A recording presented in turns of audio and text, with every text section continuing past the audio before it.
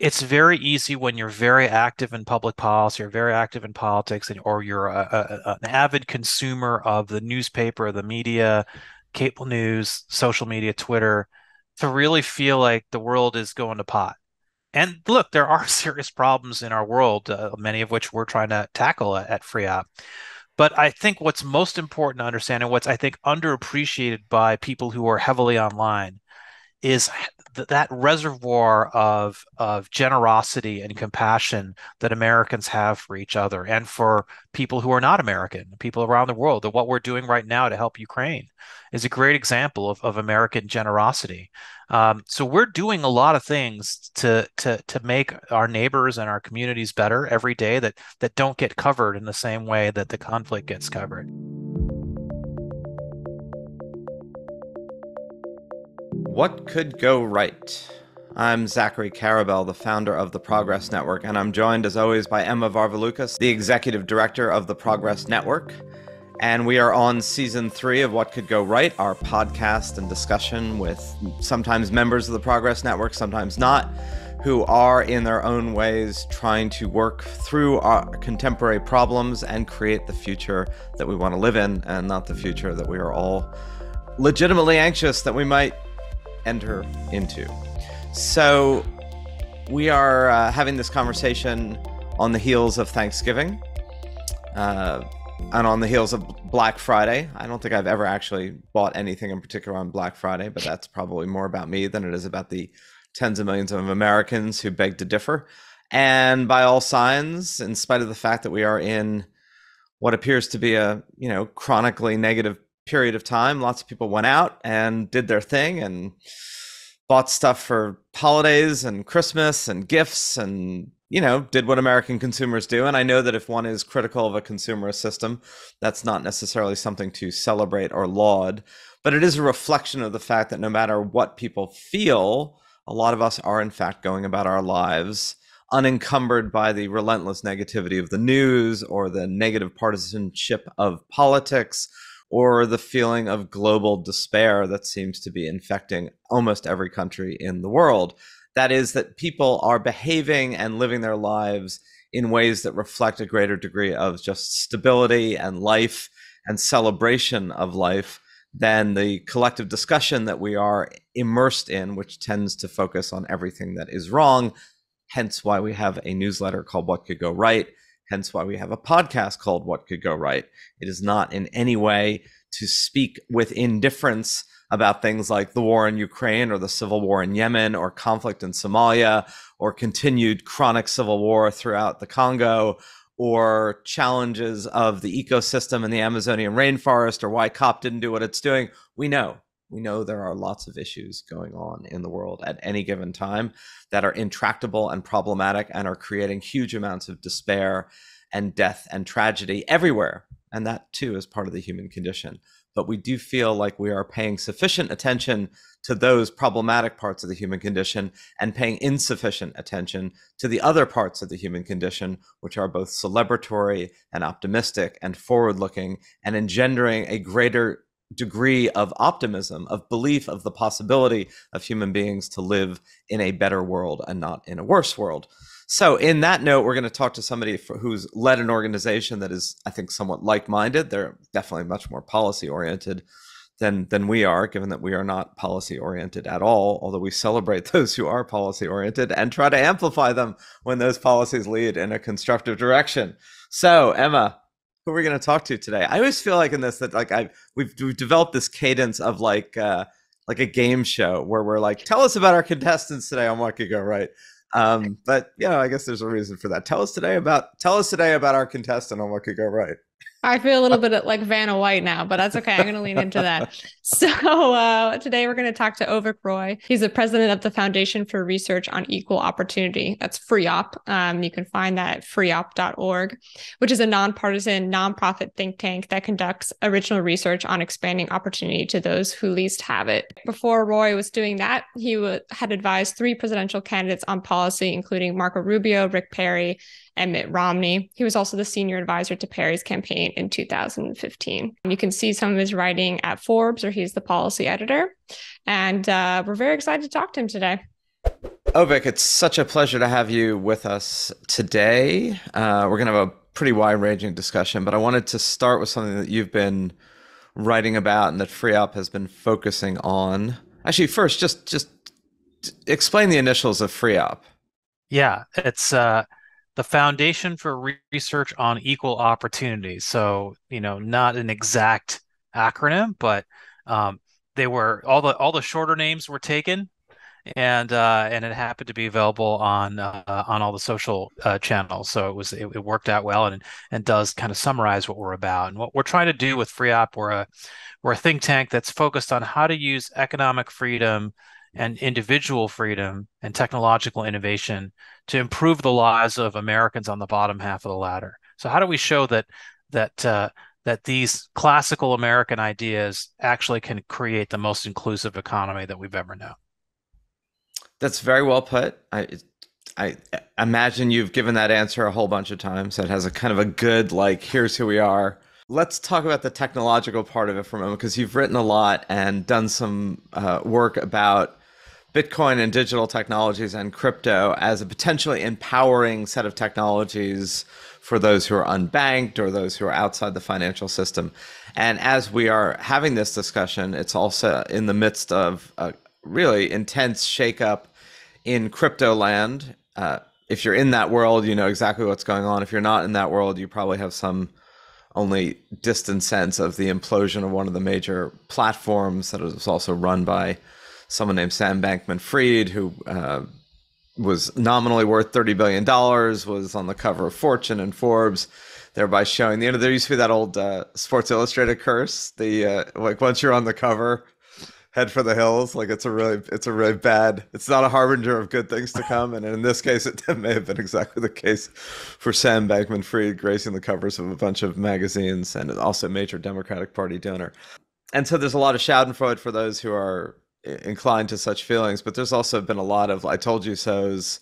And people who have been doubting the digital ecosystem as basically being just a Ponzi scheme for wealthy finance bros to spend a lot of money in Miami and the Bahamas. But you've you've written about crypto as as an ecosystem that offers some potential to reduce inequality or to reach people. So what do you what do you feel about all of that in the wake of this current moment?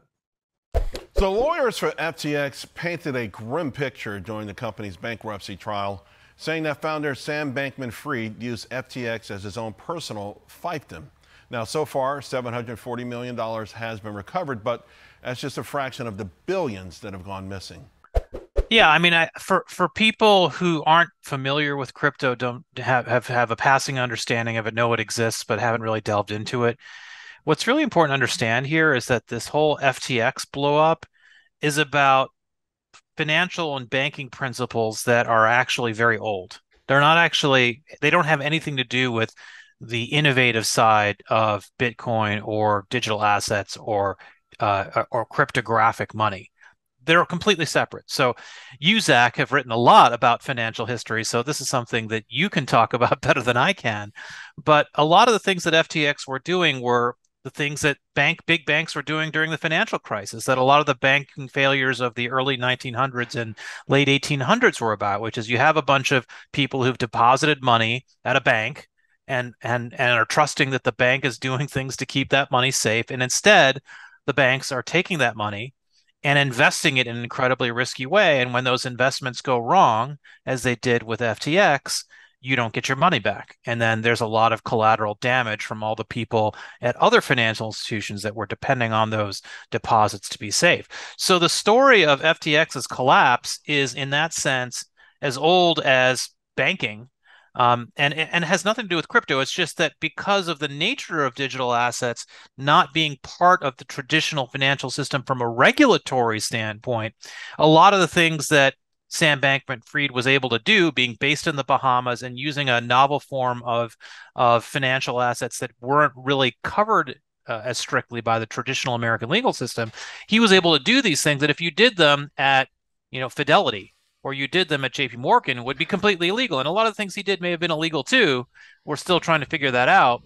But basically, the things that uh, that Sam Bankman Fried did wrong have much more to do with the regulatory architecture of digital assets in the United States and not they don't have a lot to do with actual digital assets and how they work.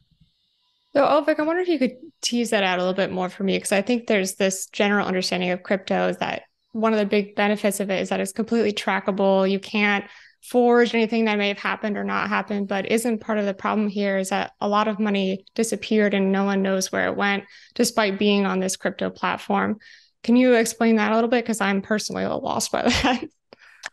Yeah. So uh, part of the problem is that when you have assets, so the way Bitcoin is supposed to work, let's start with Bitcoin. So Bitcoin is the original cryptocurrency or digital asset in, in the first implementation of the black blockchain and a financial asset. And Bitcoin works that way, where there's this blockchain, which is basically a kind of decentralized public database that records every transaction. So there are all these wallets, they have a bunch of letters and numbers attached to them, and you can follow, even though you might not know exactly who owns that wallet or who owns that particular amount of Bitcoin, you can follow literally every you know one one hundred millionth of a Bitcoin and how it moves around in the internet on the internet to, to these various wallets in a public database. Um, and that is how, in general, cryptocurrencies work. There are some that are that that don't work that way exactly, and let's just table that for a minute. But in general, that's how they work. What FTX was doing, so FTX is a cryptocurrency exchange, a little bit like Coinbase um, and Binance, maybe some of the names that people are familiar with uh, that are out there that allow people to buy and sell cryptocurrencies. And uh, al- alongside FTX, Sam Bankman Fried had a number of other ventures that he was working on. One was called Alameda Ventures or Alameda Capital, which was basically a venture arm where they were taking the money that that was being housed at FTX and eff- effectively funneling it to Alameda uh, to to invest in various things. Now, the way they were doing that was they were issuing their own cryptocurrency called FTX token or FTT, which they were then using as a kind of quasi currency that Alameda would then invest. And so what was happening was they were using the the assets on their balance sheet as a kind of collateral and then moving them uh, to Alameda. Now they were also moving some of their actual direct assets to Alameda. And th- these are some of the things that were noted by observers at the time at times, but people just didn't know because who you don't exactly necessarily have clarity from FTX as to which accounts belong to whom. So there was just a lot of um, manipulation and deception from FTX as to exactly what was going on. Now, the bottom line is just to step back a minute, like what is the point of Bitcoin? Bitcoin has several genuine innovations and several problems that it solves that really have very little to do with what FTX is about. So, what's Bitcoin trying to solve? Bitcoin is trying to solve several problems. One, if you look around the world and you look at countries like a great example today is Turkey. Turkey today has an official inflation rate of 75%.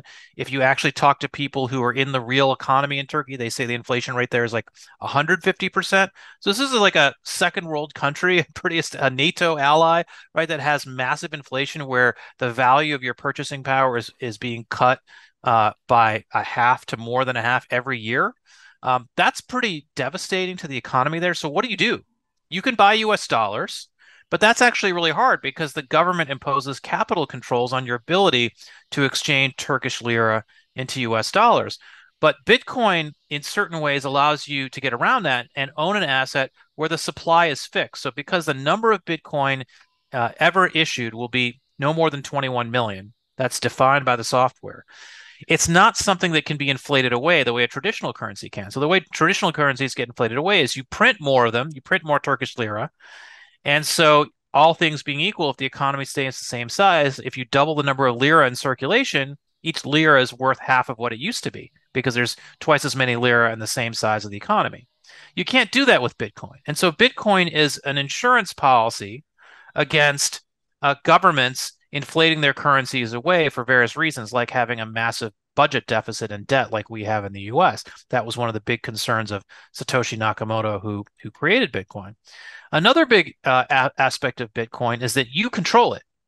It isn't at a bank.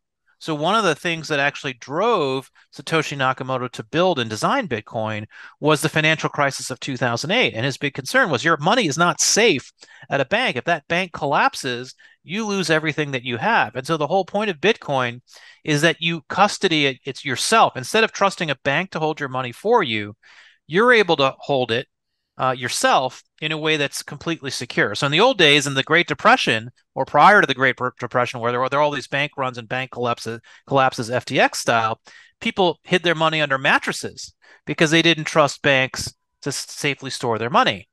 And Bitcoin solves that problem saying you don't have to actually hide your money under mattresses anymore.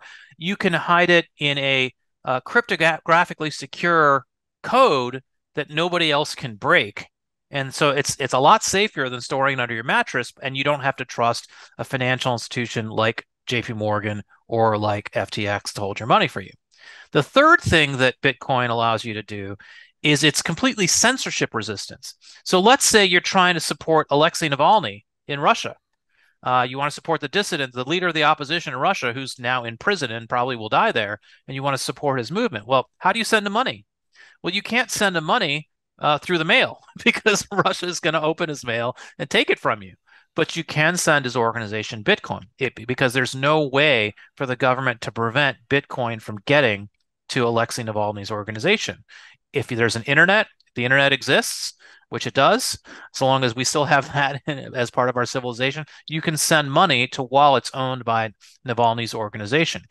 This happened with Ukraine. So when Ukraine was invaded by Russia, the first uh, or, uh, the first amount cash of money that got to Ukraine was not from the U.S. government or or Europe.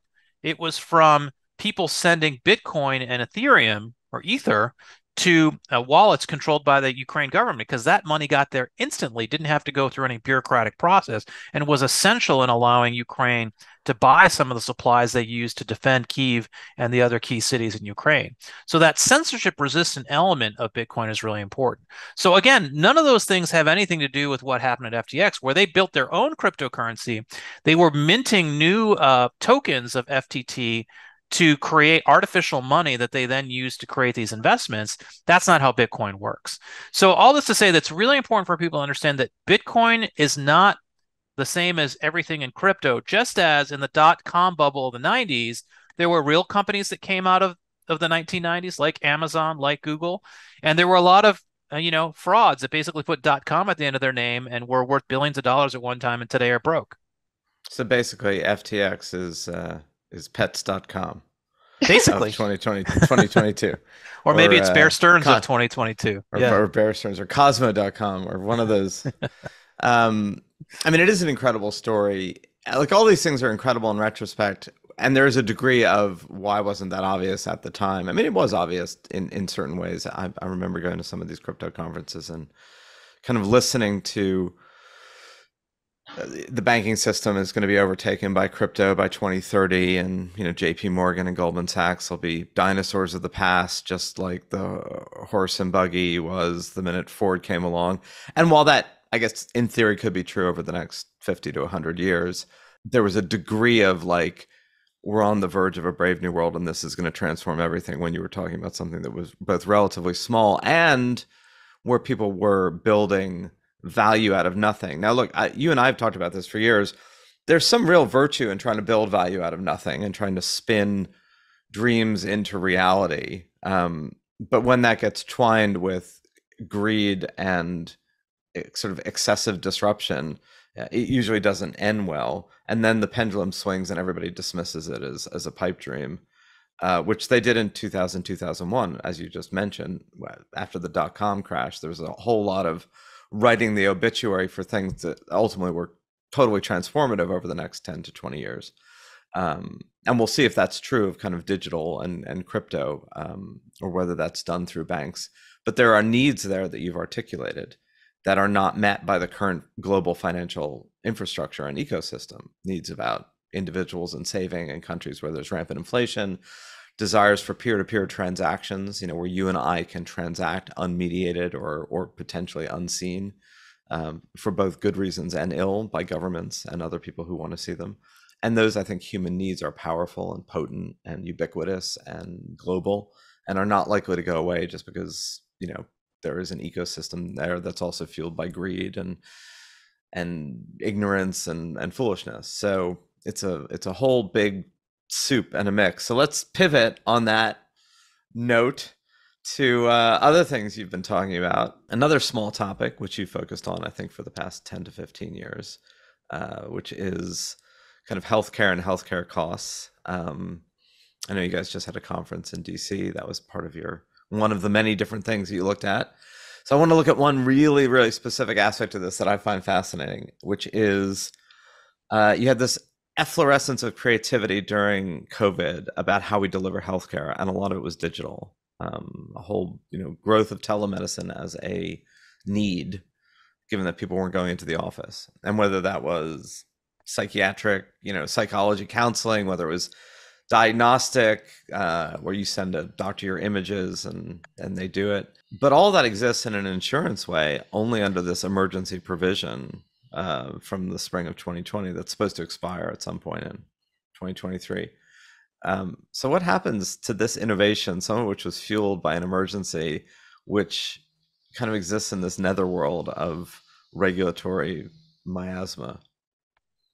Yeah, you know, it's uh, uh the the one I wrote a uh, paper, uh, boy, about 10 years ago maybe now, but that we've updated and and and refined at FREOPP uh, and it starts with the line, why don't we have Uber in healthcare? You know, why don't we have that kind of disruption using digital technology to re- revolutionize or certainly m- meaningfully improve the, the quality and the delivery of healthcare? Uh, and there are a lot of people who ask this question. There are huge conferences where thousands of people, if not tens of thousands of people, gather to, to talk about these things. And there's there's a bunch of different reasons, but the core reason goes to the way we pay for healthcare. So when you pay for an Uber, there's a reason why you're attracted to Uber versus getting a taxi. In a lot of places, not New York City maybe, but in a lot of places, uh, you don't have the availability of taxis the way you do with Uber and and also the prices are more attractive. The fact that you can you can track everything on your GPS and it's just so convenient. You know, it's not like you call the dispatcher and you have to wait and maybe the car is coming, maybe it's not. In the old days, that's what we used to do if you had to call a taxi from somewhere. Uh, and, and it's just it was it's a much better user ex- experience, right? And so obviously the the old um, taxi medallion systems in all these cities they fought it. They, you know they'd spend all this money to say, hey, I, I you know saved up to buy this taxi medallion and now i'm going to you know uh, erect a moat around this business so you you know legal barriers so you can't come in here. But uber eventually overwhelmed those barriers. Now the difference there is uber was competing against local governments city councils and the like. When it comes to healthcare it's the federal government and it's very hard to disrupt the federal government because if you do something that the federal government thinks is illegal you can go to prison right? And the federal government does not mess around. When they want to find you, they find you, right? Like if you're uh, a company based in San Francisco and and and you're trying to disrupt Kansas City, Kansas City may not have the resources to take you on, but the federal government does. And so that's one of the reasons why healthcare has proven to be um, difficult to disrupt is that you have all these laws on the books from the pre-digital age.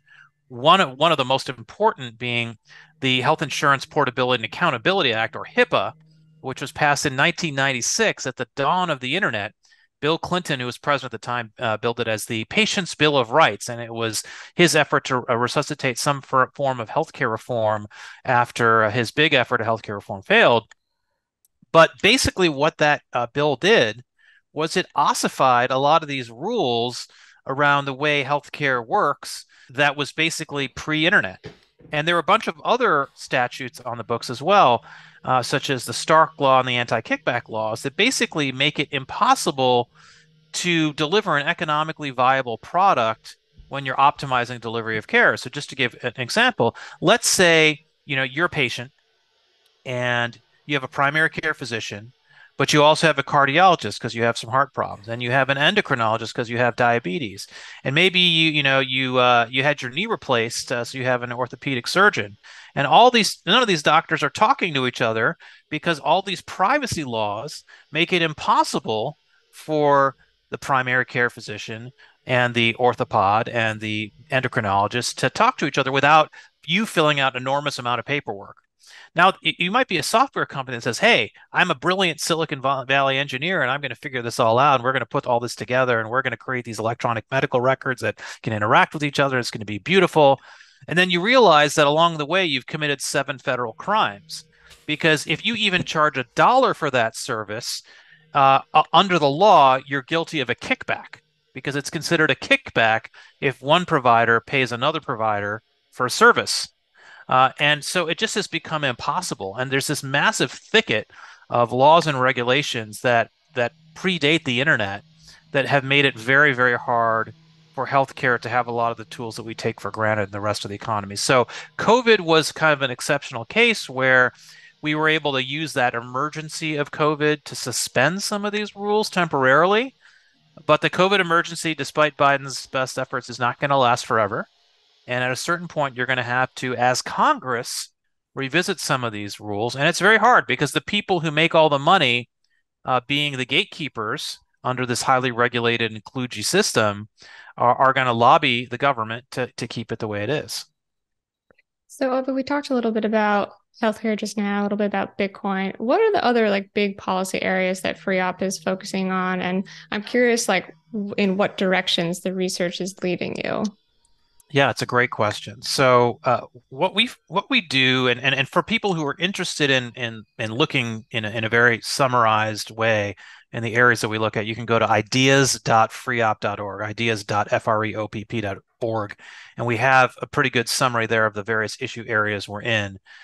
And I'd say they they fall into two buckets. The biggest bucket, which consumes about 70 to 80 percent of our efforts, our work uh, our research personnel, et cetera, are things that revolve around the cost of living.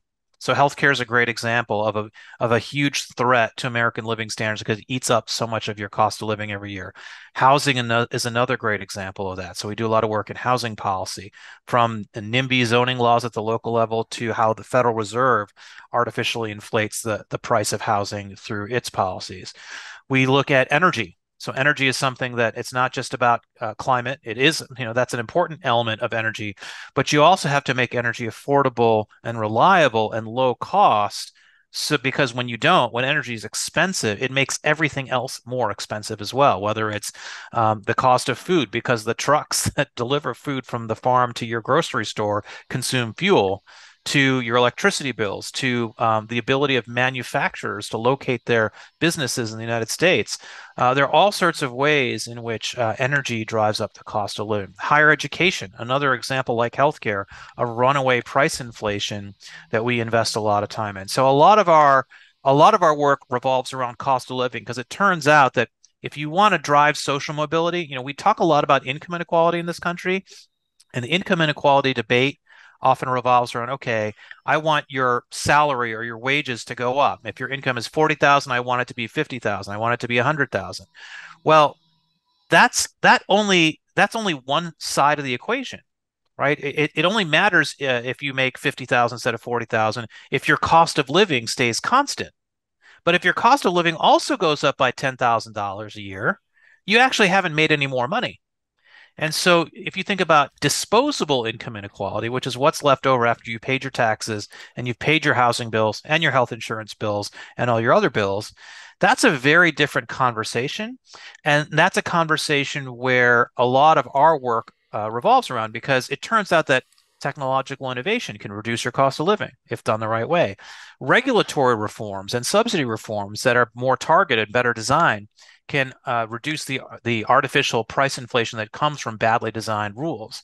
So those are a lot of the things that we end up working on that allow competition and innovation to drive down your cost of living. One of the challenges of that is, um, you know, we we live in systems now that are sort of GDP and growth maximizing, and cost savings, um, while it absolutely achieves an identical benefit to individuals you know meaning if your income if your income were flat but your cost of living was halved it would be the same life beneficial equation as if your income doubled and your cost stayed the same. But from a gdp and, a, and an economic policy perspective it would look bad optically because you'd have lower growth. You might even have negative growth. Like we're we're completely unset up sort of societally not just the united states but everywhere in the world since the mid 20th century for a scenario of like negative growth but positive outcomes. If you translated a lot of what you're, I mean, the implications of lowering costs massively is you could actually have a scenario. It's a theoretical one right now um, of negative growth but positive outcomes, but we wouldn't be able to see it that way. Well, what you're highlighting, Zach, is that the the the way we measure the success and prosperity of the economy is massively antiquated, if not obsolete. These metrics that we built during World War II for a non globalized economy, in which the primary market for American products and services was the American market, doesn't work in a globalized economy. And it doesn't take into account the, the, the cost uh, decreases and optimization that comes from free trade, for example, or from technological innovation. So many things that we we value about our world today are massively cheaper than they were 80 years ago when when Keynes and Galbraith were were running uh, the Economic Academy uh, in the United States. And and we're all trained. If you're a mainstream economist, you're trained to think that's bad. If inflation declines, if you have negative inflation or deflation, everyone who studies economics in a university is taught that negative inflation or deflation is bad and they're half right, and that is to say there is a form of uh, of negative inflation or deflation that is bad, which is if you have economic stagnation where people are buying and producing fewer things because the economy is shrinking, that can lead to a form of deflation. But there's another form of deflation that's actually positive, which is um, the fact that every 10 years, every five years, every year, you know, that the phone in our pocket is more powerful than it was before. And through uh, the massive growth in free trade over the last 20, 30 years, a lot of the goods and services, particularly food and consumer staples like clothing, are a lot cheaper than they used to be at a much higher level of quality. That's good for the economy. That's good for living standards. So, uh, the way we actually understand economic growth and particularly prices is massively distorted by a doctrine that was that kind of uh, ossified around World War II and hasn't really been modernized. And that's um, that's a we could have a whole podcast about that. So, Avik, I have a question about equal opportunity. You know, it's there in the in the name of the think tank, um, and that's you know part of the foundation's goals for everyone in the U.S. to have equal opportunity, which sounds great. You know, I think that no one would would really argue with that as a principle. Some do. Um, Oh, maybe some do. Yeah. Okay. I think on this podcast, we're not going to argue with that as a principle. We're going to let that one be. But when you get into the particulars of what that means, you know, like higher ed is a really easy example because of all the affirmative action debate that's in the news right now. What that actually looks like seems to be very unclear. So I was wondering what what does that mean for you? When you say uh, something where everyone has equal opportunity, what does that look like? So just to to to fold the the, the previous question about the the issues that we work on with your question, Emma.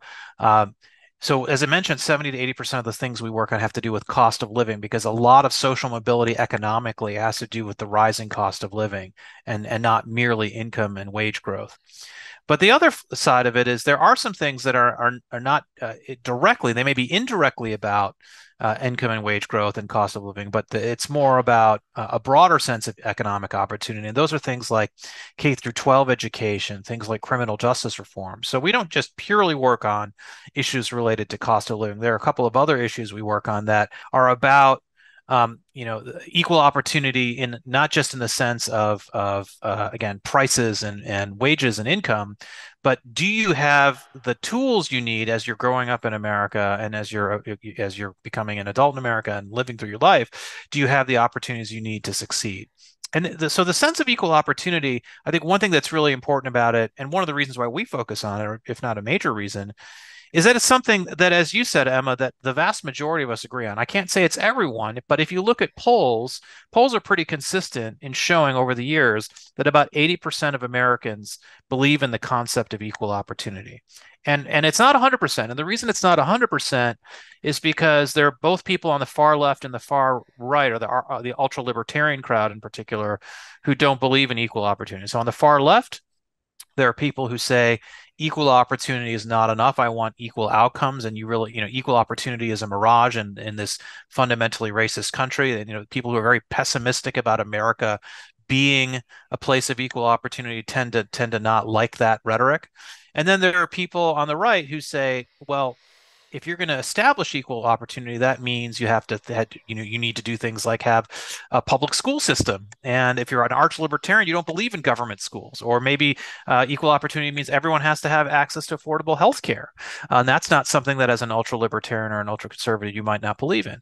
Um, so th- there are people who, who, you know, who who are skeptical of the concept of equal opportunity for one reason or another, whether on the left or the right. But the vast majority of Americans not only believe in the concept of equal opportunity, but um, they believe that that's what America should stand for. And and people can debate how to define equal opportunity. They can debate how to accomplish equal opportunity.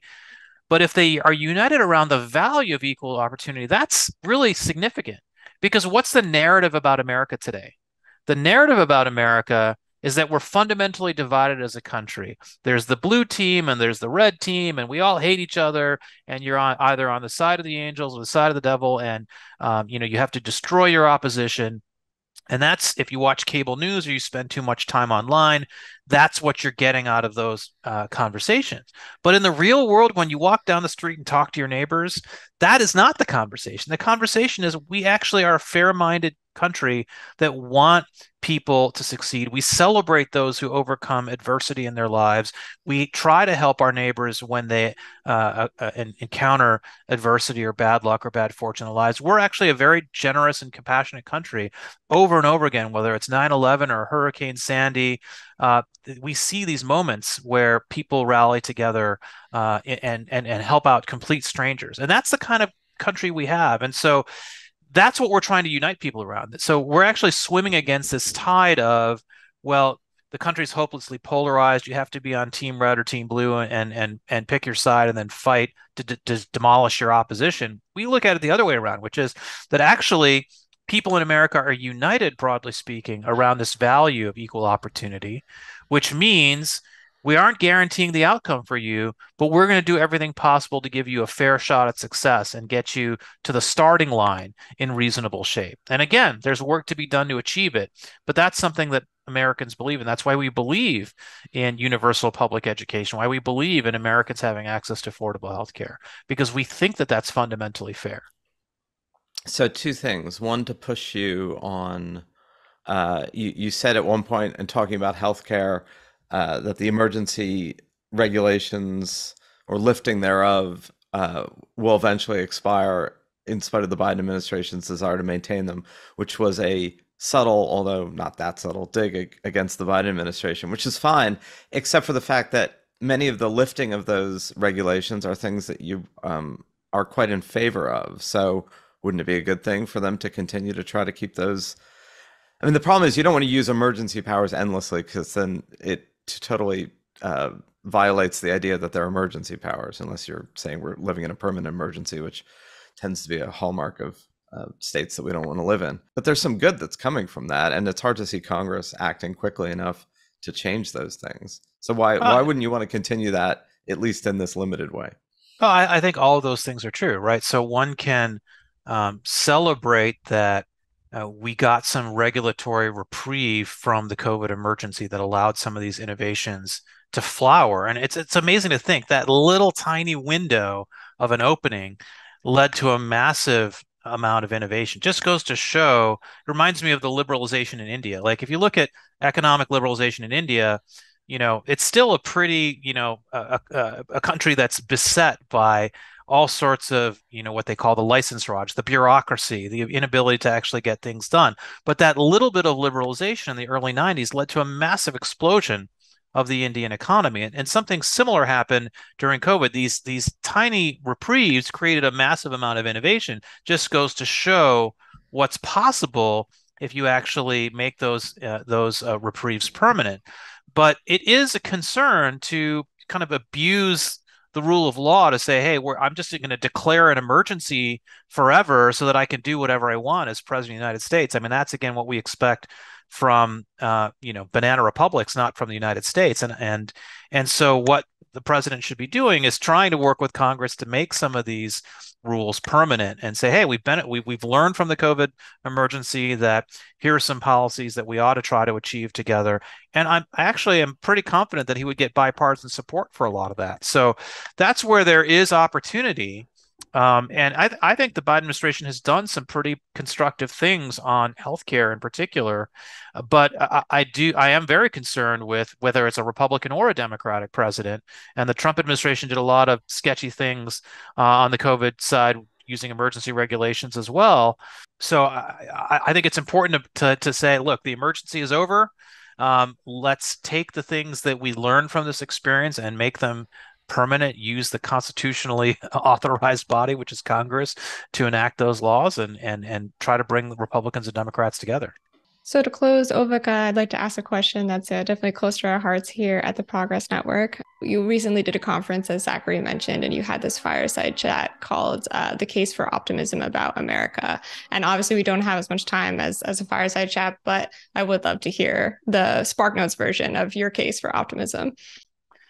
Well, I'd say I'd say several things. First of all, uh, as we've talked about a little bit already, it's very easy when you're very active in public policy or very active in politics and, or you're a, a, an avid consumer of the newspaper the media cable news social media twitter to really feel like the world is going to pot and look there are serious problems in our world uh, many of which we're trying to tackle at, at FREOPP but i think what's most important to understand and what's i think underappreciated by people who are heavily online is th- that reservoir of of generosity and compassion that Americans have for each other and for people who are not American, people around the world. That what we're doing right now to help Ukraine is a great example of, of American generosity.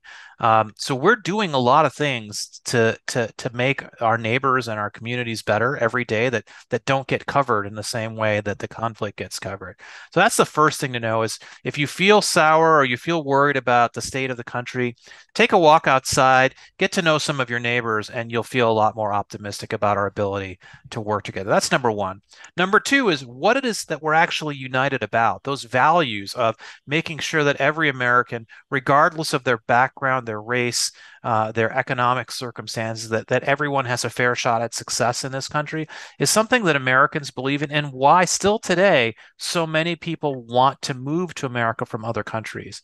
And and I, I think it's really important, uh, to, particularly for those who who are so pessimistic about America's future and America's character, to understand that if America is such a bad place, why is it that so many people want to move here and think that it's better than the place that they live today? And I can tell you myself, as a as a second generation a second generation immigrant, uh, that that's a very personal thing for me. My parents came here and gave me opportunities that I would have not had if I were still living in uh, uh, in the suburbs of Calcutta, like my my parents were uh, uh, in the early days. So these are these are things that that we should be optimistic about. And, and another thing I would mention, uh, you know, leaving aside the the techno optimist case, which we, we we get into as well, but there are actually solutions to a lot of the challenges that we face. So the fact that healthcare is too expensive, the fact that housing is getting more expensive, the fact that higher ed is getting unaffordable, uh, and that people feel like a lot of opportunities are getting uh, closed off to them. That's true, and these are real problems.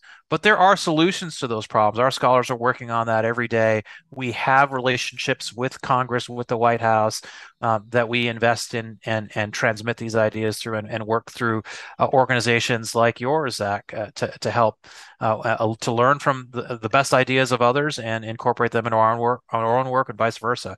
So there are ways to solve a lot of these problems. It's not hopeless um, to actually change the laws and rules that that that make our economy work better than uh, than it does today.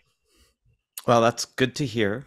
Good sentiments. Totally in sync with the Progress Network. Totally in sync with the idea that uh, relentlessly focusing on all that's broken doesn't fix anything, and uh, at least trying to fix something is is a better chance of actually fixing it than throwing up your hands, saying that everything is broken, and walking away in, in sort of despair and disgust. So trying to stay engaged even in a thicket of problems, is really the only way forward. And you've done admirable work remaining uh, upbeat, vaguely nonpartisan, uh, eclectic, individualistic, trying to see your way towards solutions that can be embraced by multiple sides of the proverbial aisle. And so, thank you for the work you're doing. And uh, I'm glad you got to share some of it today to this particular audience. And thanks for being part of whatever we're trying to do at the Progress Network. Zach, I, I, really admire what you're trying to do at the Progress Network, and thanks to you, Zach, for being uh, part of FREOPP's family as well as a member of our board of advisors and as a visiting fellow. We we're grateful for uh, the opportunity to to follow all the great work you do and and to to learn from it at FREOPP. All right, so on that amen chorus note, um, thanks so much, and have a great rest of the year. So I love talking to somebody whose whose interests are wide ranging, but united by a kind of a common theme, as he talked about at the end of greater opportunity, f- focus on ways that we can increase um, access and opportunity, whether it's in housing or healthcare or crypto or you name it. Uh, but it's fun also that he, you know, is leading an organization that is not monomaniacally focused on single issues or single ways of getting those issues met. Yeah, and what's interesting is that you know Avik uh, does say that there's like policy is not a zero sum game, which is interesting because it feels like policy is at one place that's definitely a zero sum game. But you know we've made this sort of joke and discussion before on the podcast, like what are these areas where uh, red and blue can work together, and it often feels like the sort of fringe areas, but if you're going from Avik's uh, policy research, housing, healthcare, higher ed, like they're trying to establish something that sort of everybody can get behind. I'm wondering if that's a pipe dream or not, like when it really comes down to the granularities. Well, the great thing is he doesn't believe it's a pipe dream, and he's kind of been a deep policy wonk for years. And he was one of the architects of, of Mitt Romney's Massachusetts healthcare reform law that, that became uh, a lot of the basis of the Affordable Care Act. So, mm. You know, in many ways, he has been a policy wonk who has believed that it's actually possible to craft policies or to work with government. And we have to have somebody and some group of people who who both are passionate about the process and willing to work through it. You know, we've talked a lot about we're probably focusing too much on government as a source of solutions but they clearly are part of the equation that needs to be worked with. And you kind of need people like Avik who are willing to be in the weeds with that and also believe that constructive outcomes are possible. And the wonkishness is fun and useful because I feel like in a lot of these discussions, when you really get down to people who, when you really get down to the issues with people who know the issues, the things that are preventing things from happening or that are making costs skyrocket are often not the things that you might expect or like the things that are that are part of the narrative for instance the there seems to be a concrete wall around what is actually making healthcare expensive in the united states and if anyone's interested in looking up some of Avik's work his answer to that is quite different than from what you might expect expect right. And it is it is actually looking worth looking at that. And and his writings are quite accessible. I mean, he is both a policy wonk, and we're saying that respectfully, not pejoratively, and is good at communicating that to in a simpler, non-jargony way mm-hmm. to to people who are interested and who care. So onward. So let's pivot to uh, stories of the week that that most of us probably missed. Yeah, so we're going to start out today with a focus on Sierra Leone, west coast of Africa, not a country that is in the news very often. It's one of those countries high poverty, high, you know, teenage pregnancy rates, low literacy, all this stuff. So they've done a few very interesting things in the last few years and also in the last couple of months. One of them is that they have dedicated 25% of the entire federal budget towards education. Um, they, they just announced this uh, in mid November. So, this is an educational reform program that is free education for all the kids in the country. They are now letting pregnant girls continue with their schooling before they would get kicked out of school. This went into practice in 2018. So far, it's led to an additional 1 million more children having gone to school. And um, it's nice to see that, that they're continuing this with massive funding. Uh, you know, one quarter of a budget is certainly quite a commitment. So that's number one. So, do we know how that's played out? I mean, obviously, uh, COVID land was not the most propitious time to launch anything. Uh, and even though they didn't really shut down as much, a lot of sub-Saharan countries didn't really have the testing regimes. Also, they've been dealing with infectious diseases as a chronic aspect of life, so they were less likely to react to COVID as a "oh my God, we have to change everything." Um, again, mostly because there was multiple other sources of fatality looming at any given moment. Sierra Leone also dealt with uh, Ebola for a little while, as well as uh, other infectious diseases of intense lethality.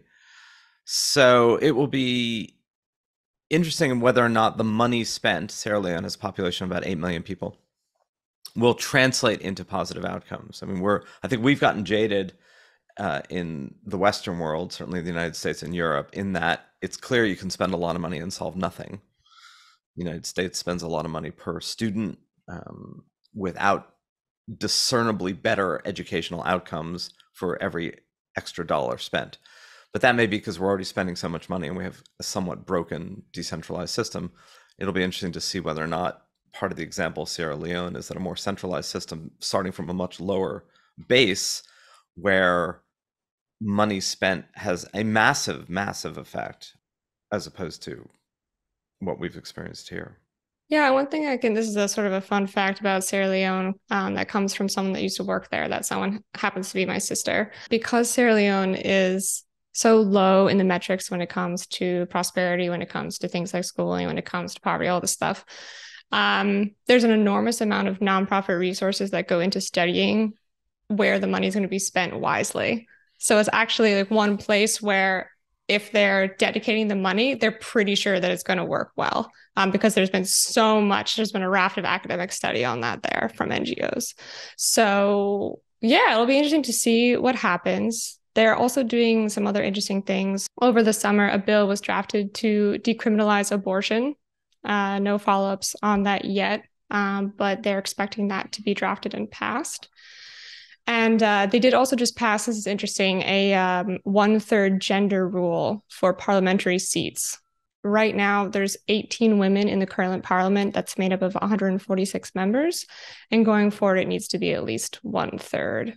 Uh, a la Australia. Australia has passed a recent rule around that. But there certainly seem to be doing a lot right now um, to I guess sort of liberalize the country and to, you know, get it get it going in the in this modern world.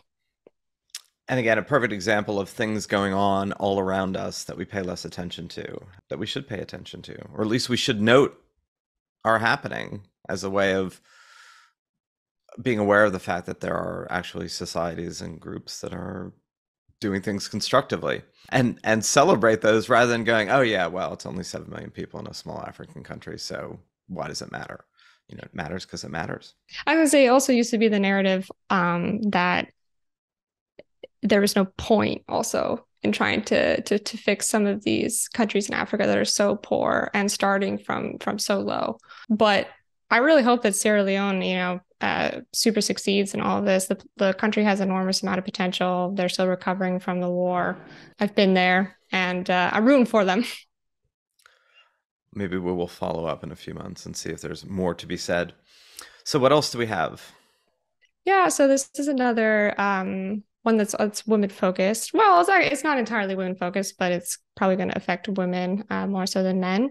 Congress passed a bill last week called the Speak Out Act. And if our listeners have seen Bombshell or they're familiar with the Gretchen Carlson versus Roger Ailes um, drama. I don't mean that in a flippant way. It's just the word that came to mind. It was certainly dramatic.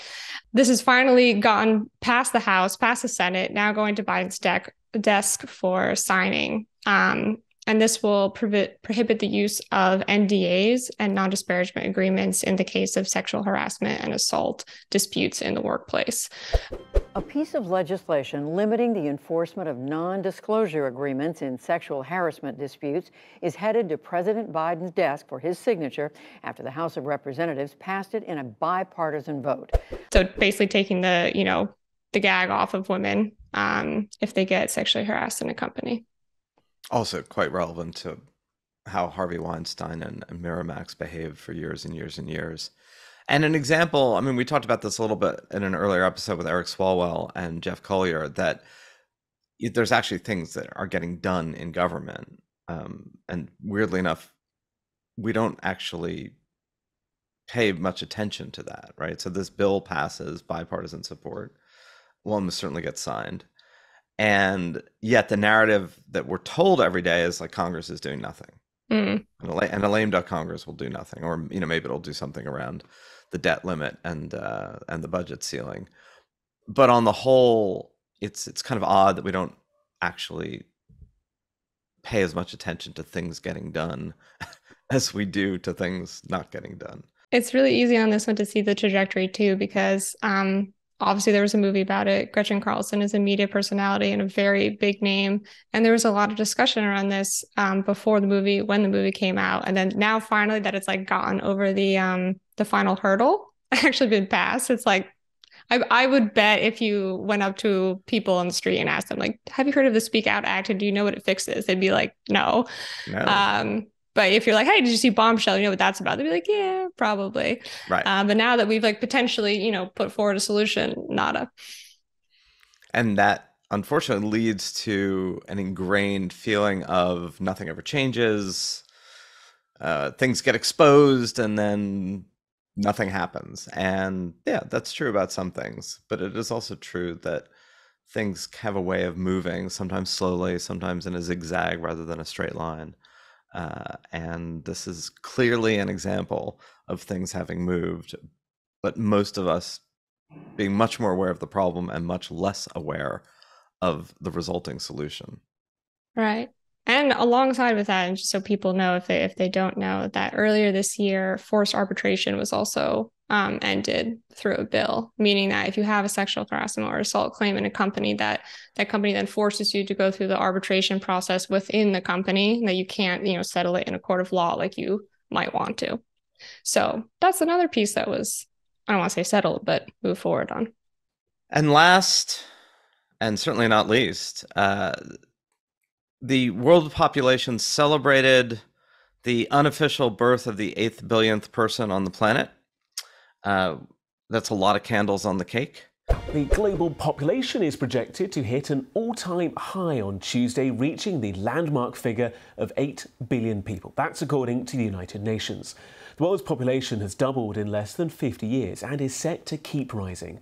And this was greeted with a series of, uh, at best, ambivalent and mixed emotions, in that there are those who feel like the burgeoning population is a chronic threat to human stability, and others who are noticing the fact that the population is actually not growing at the rate that was expected even 10 years ago, i.e., there was a concern and an expectation that the population of the planet would reach 10 to 12 billion by 2050 and maybe even exceed 12 billion at some point in the 21st century given that population growth has slowed measurably in almost every country in the world even in countries like Nigeria and Bangladesh and Pakistan and Indonesia that have been growing more quickly. Birth rates have been falling. And the only thing that's really keeping population growth going is that life extension. You know people are living longer in parts of the world where they hadn't been living long.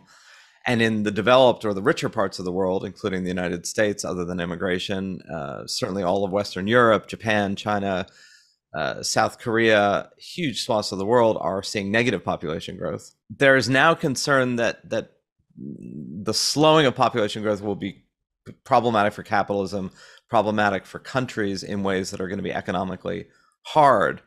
And it's a little like damned if you do, damned if you don't, right? You know, on the one hand, people were getting very agitated as they have been since the time of Malthus about too much population and not enough resources.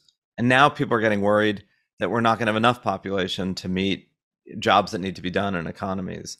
Uh, and it's kind of a Rorschach test for are you feeling good about the future? Or are you feeling bad about the future? And I and I found that really intriguing, right? That this was that the news of this was greeted with kind of every reaction you can you could conceive. Ha, pun intended, I guess. I mean, it's this weird question of like, what's the ideal number of humans? And like, I think that the common narrative is we already have too many. And then that gets linked to we already have too many and they're causing emissions, and that's going to hasten the end of the world. That's the narrative that I most commonly see. People, very inconvenient. They cause all these emissions. exactly, which is like, okay, well, like, what's your suggestion then? Um, I'm a little bit partial to Parag Khanna's message on this and he's um, been on the podcast so folks can can look up that episode and i should also say we spoke to tyler cowen about this and zachary you also had an episode with the folks that wrote um empty planet empty planet yeah yeah john ibbitson and Darrell Bricker Yes. So if people are interested in this conversation, it is one that has occurred in various forms over different episodes. But Parag Khanna is sort of, of of the opinion, given what you said, Zachary, about where populations are going down, where they're going up. They are mostly going up in sub-Saharan Africa and parts of South Asia, um, and we should let those people move. Uh, that's his big thing, and I, I'm kind of partial to that because um, you know these rich countries that can take in more people, can use more people, have more brains to be put to good use, why not let them flourish where they will most likely flourish um, instead of keeping them within borders where they might not? Uh, especially if we do end up having declining population numbers and actually we really do need more people. So, what do you think of that? I think uh, that the population dynamic is going to be one of the most important factors shape, shaping how we live over the next 60 years, which means that shrinking populations are going to lead to all sorts of changes that we don't expect. And if we want to really look at what that might look like, we should look at Japan uh, in terms of mm. a harbinger of where we're where we are all kind of headed at one point or another, and that uh, you're not going to have the population pressures even in again the Nigerias and Pakistans and Bangladeshs of the world because you know in every country in the world where women uh, become more educated and people become more urbanized and birth control becomes more available, you just have fewer babies. Uh, you have less desire for them, less need. You know, you don't need like ten kids to work the farm. You also with shrinking infant mortality, you don't need ten kids because mm-hmm. three of them are going to die, and uh, that the world that we're going to be heading into, and certainly that our children are going to be living in, is going to be a very different dynamic than all of experienced modernity. You know, sort of from the mid 18th century to the mid 20th, it was a period of like unbelievable human population explosion, and most of our understanding of both climate and resources and history and economics is predicated on that population growth. And no matter exactly where we end up in terms of the numbers, uh, that's a chapter that's ending in human history. And we haven't even begun to grasp with what that means and what that will look like. But I think it's one of the most important unexamined, and in many ways could be quite positive. You know, positive in terms of fewer people use less resources, older people use less resources, and that some of the environmental questions that we're most concerned about right now have a kind of a self-ameliorating factor insofar as fewer people will perforce demand fewer resources. Now, whether or not that happens quickly enough is a whole other question that we can talk about. So, them's my completely non conclusive thoughts about an absolutely crucial question.